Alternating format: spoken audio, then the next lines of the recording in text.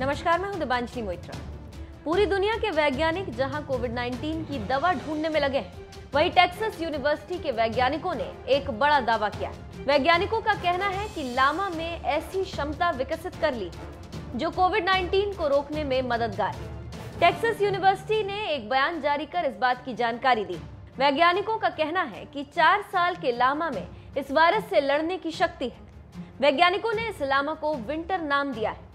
Texas university के शोधकर्ताओं की एक team national institute of health और बेल्जियम की घेंट यूनिवर्सिटी बहुत दिनों से ऐसी एंटीबॉडी की तलाश में थी, जिन्होंने सालों पहले आए सार्स या मर्स जैसे वायरस का मुकाबला किया था। इसके लिए बेल्जियम के ग्रामीण इलाकों में पाए जाने वाले लामा और भेड़ पर शोध किया जा रहा वैज्ञानिकों का दावा है कि विंटर नाम के इस लामा के खून से ऐसी एंटीबॉडी बनाई जा सकती है जो मानव कोशिकाओं को कोविड 19 से बचा सकता है।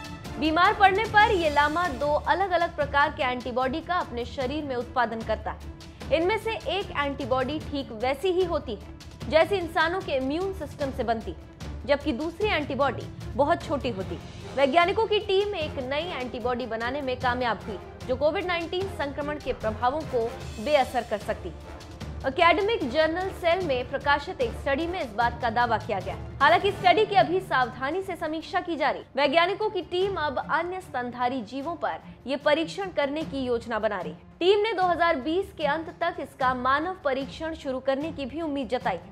मॉलिक्यूलर बायोसाइंस के एसोसिएट प्रोफेसरों की माने तो ये पहली ऐसी एंटीबॉडी है जो सार्स कोविड टू को बेअसर करेगी। प्रोफेसरों की माने तो कोरोना का संभावित इलाज वैक्सीन की बजाय एक एंटीबॉडी थेरेपी होगी, जो लोगों को तेज़ी से बचाने का काम करेगी। तो आप समझ सकते हैं कि कोविड 19 को लेकर दुनिया में क्या चल रहा है। इससे पहले इसराइल इटली, ब्रिटेन के वैज्ञानिकों ने ये दावा कर दिया है कि कोविड 19 की दवा बन गई।